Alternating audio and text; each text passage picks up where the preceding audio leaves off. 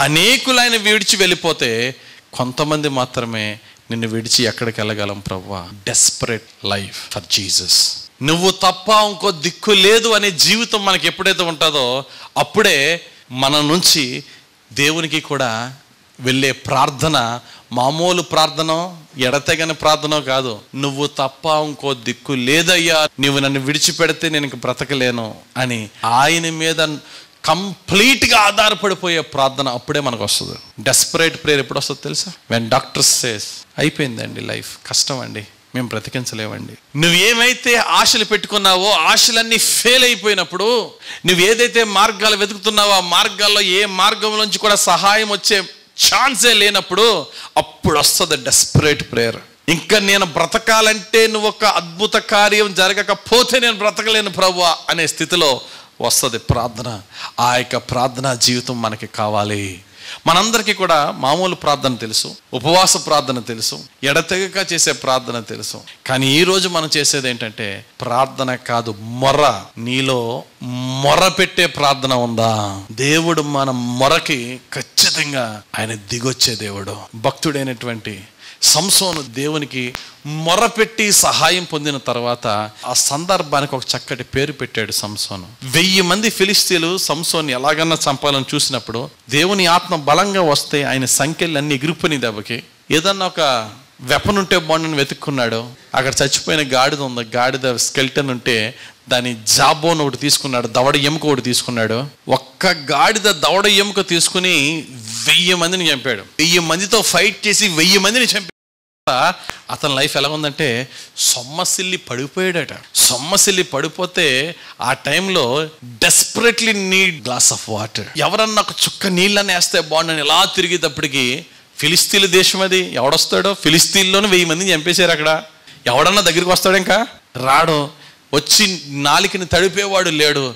అక్కడ ప్రార్థన చేస్తున్నాడు. సంసోను అంత గొప్ప అభిషక్తుడైనప్పటికీ ఎక్కువసార్లు ప్రార్థన చేసినట్లేదు కానీ రెండే రెండు ఇన్సిడెంట్స్లో సంసోన్ యొక్క ప్రార్థన కనబడుతుంది బైబిల్లో. ఆ రెండు ఇన్సిడెంట్స్లో కూడా సంసోను డెస్పరేట్ ప్రేయర్ చేశాడు. దిక్కు లేని స్థితిలో ప్రార్థన చేశాడు. అందులో మొట్టమొదటి ప్రార్థన న్యాయాధిపతుల గ్రంథము పదిహేనవ అధ్యాయం పద్దెనిమిదవ వచనం. అప్పుడు అతడు మిక్కిలి దప్పిగొనినందున యహోవాకు మొరపెట్టి నీవు నీ సేవకుని చేతి వలన ఈ గొప్ప రక్షణను దయచేసిన తరువాత నేను ఇప్పుడు దప్పి చేతను చచ్చి సున్నతి పొందని వారి చేతిలోనికి పడవలెనా అని వేడుకొనగా. ఇంత గొప్ప విజయం ఇచ్చిన తర్వాత ప్రభా దిక్కులేనోళ్ళ చావడం చాలా దారుణమయ్యా.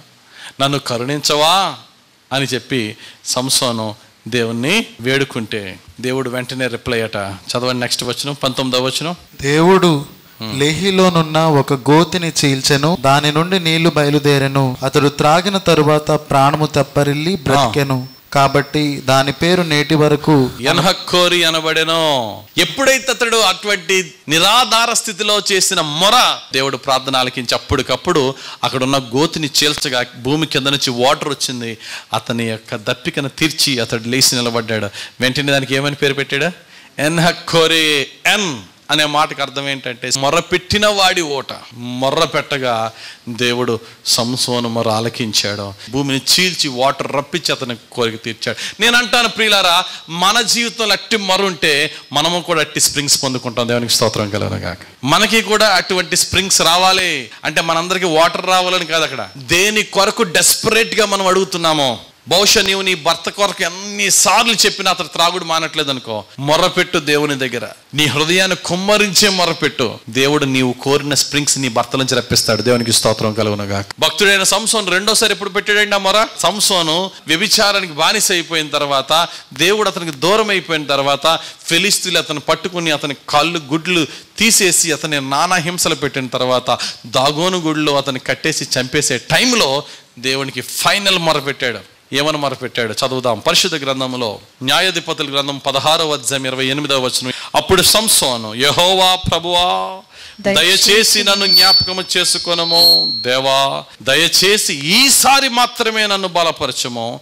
నా రెండు కన్నుల నిమిత్తము ఫిలిస్తీలను ఒక్క మారే దండించి పగ తీర్చుకొననిమ్మని యహోవాకు మొర్ర పెట్టి ఏముంది ఇక్కడ? మొర్ర పెట్టి ఆ మొర ఆలకించాడు దేవుడు. అతన్ని బలపరిచాడు. ఒక్కసారి బలపరచగా.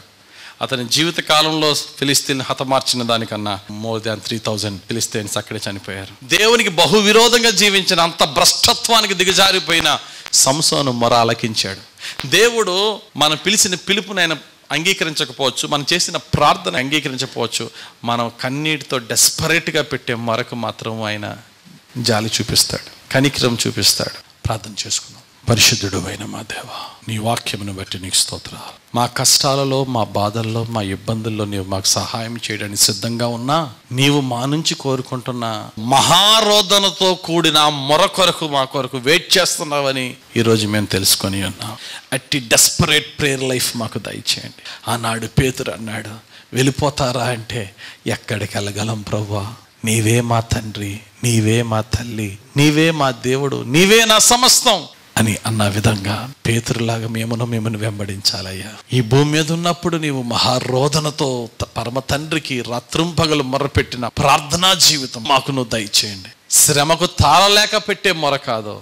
శ్రమ రాకముందే పెట్టే మొరగా మా మొరను దీవించి మమ్మను మా కుటుంబాలని క్షమించి రక్షించి మా పరిస్థితులను బాగు చేయమని కోరుచు. మేము ఎంత బిజీగా ఉన్నా నీ సన్నిధికి విశ్వాసముతో వచ్చి కన్నీటితో ప్రార్థన చేసుకొని నీ గొప్ప ఆశీర్వాదమును నీ గొప్ప కృపను పొందుకునే భాగ్యం దయచేయమని ఈ వాక్యం విన్న ప్రతి ఒక్కరూ యేసు ప్రవ్వా నీ నామమును బట్టి ప్రతి దినము ప్రార్థించుకొని నీ కృపను పొందుకునే భాగ్యం దయచేయండి. పరమ తండ్రి ఈ మా వాక్య ధ్యానాన్ని మా ప్రార్థనను యేసు నామములోనే అంగీకరించమని ప్రార్థించి వేడుకొనుచున్నాము తండ్రి. ఆమె గాడ్ బ్లెస్ యూ. దేవుడు మేము దీవించుగాక.